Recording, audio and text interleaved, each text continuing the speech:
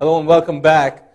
Uh, if you're just tuning in, you're watching the Arthritis Show. Joining us exclusively on studios today is Dr. Alexis Edwards.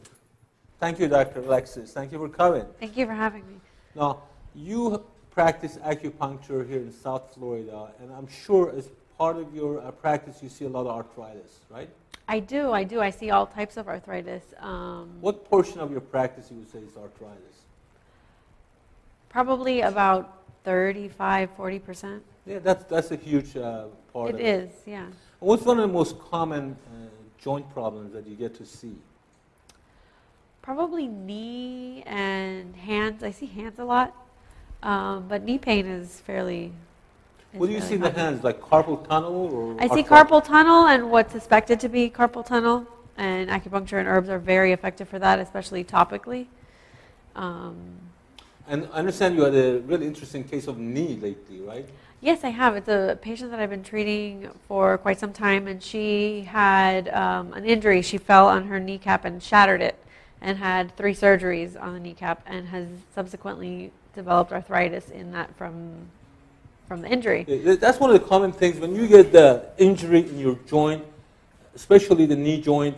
Osteoarthritis is a sequel that usually it could take up to it could take six months, it could take 20 years, but uh, these cells certainly have a memory of elephant, and they're very uh, they, they don't forget. And Exactly. uh, usually arthritis do happen. So this lady, I, I apologize for cutting in, but No. I wanted to explain that to audience out there.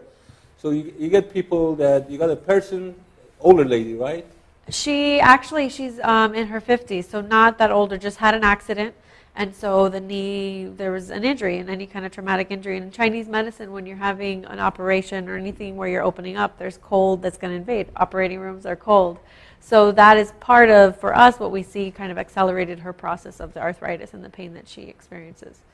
So and she has had pain for a long time they pretty much discharged her from care because there really wasn't much that you can do for the knee at the point that she was at. And she didn't want to be taking medications, and so she just lived with it day to day and with the herbs and with the acupuncture. And we actually do contralateral needling because she has so much scarring and she doesn't have a kneecap anymore. We do we needle the opposite knee and have the same effect on the knee that's affected. Oh, really? So mm-hmm. you treat the opposite knee and the, the let's say you treat the right knee and the left knee gets better. Yes. What's the reasoning? Is there any thought reasoning on? Well, the main idea is that the body sort of knows what it needs to be doing, and I was explained once that acupuncture really is just computer programming. You put in the little codes, and the body knows what to do. So in that sense, you don't need. Sometimes when you have a joint or some any pain that you have, if you're putting needles into or manipulating that particular area, you're going to be upsetting it and causing more pain and more trauma sometimes. So if you do the opposite, you have the same effect, which is just one of those amazing body stories. That- Yes. That, really is. I want to go to uh, my co-host, uh, Mr. Roman Garcia. Roman, you're dealing with a patient who's already replaced the knee, all right? And uh, having tremendous amount of pain. What do you expect to find on the physical exam? I'm asking you this because we see this quite often. Uh, we see people who have replaced one knee and they're trying, they're having a problem and then trying to prevent replacement of another knee. Doctor, the, the inherent problem of uh, anybody that has a prosthetic device placed in one leg is that what most the public doesn't understand about these prosthetic devices is that they do not come in all shapes and sizes. They're, they're literally come in three sizes. There is a small, large, and, um, and a medium.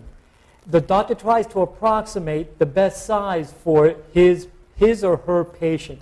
Unfortunately, in most cases, these prosthetic devices do not conform to the native tissue, the shape, the geometry. So when a prosthetic device is put inside an individual, more, more likely than not, in most cases, the individual ends up with one leg longer than the other. You see this a lot, especially in hips, but you see it a lot also in knee joints. Now, once you do that, then you start creating an imbalance in the system. And I think to, referring to Dr. Edwards, you may get a disruption of the energy flow because of this abnormality in the leg length. The well. meridian points. Exactly. Absolutely. Well, It's- anytime you're going into the body and changing something, it's you know, the meridians and the points are affected and the, just the flow. Uh, For audience out there, can you explain what is the meridian points and the chi? Sure, it's the i- Oriental medicine is founded on the idea that we have similar to blood vessels and nerves. It's just how our ener- energy pathways are, and that's when people say meridians. What they mean is the pathway in which the energy that we have flows. And there's twa- 12 main pathways, and each one is corresponds to an organ. And through tongue and pulse diagnosis, that's how we do our diagnosis, and also palpation and just looking at the different symptoms that a person has.